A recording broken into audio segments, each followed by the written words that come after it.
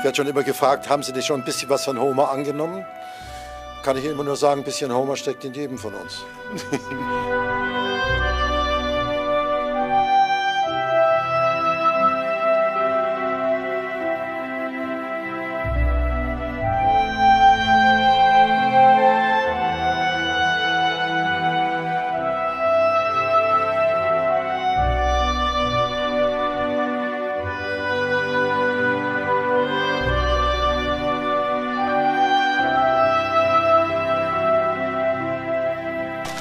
für eine furchtbare Verschwendung. Ja, aber es bleiben einem Erinnerungen fürs Leben.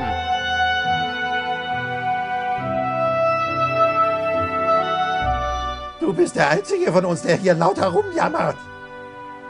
So, Super, Norbert. Okay, bis morgen. Bis morgen. Tschüss.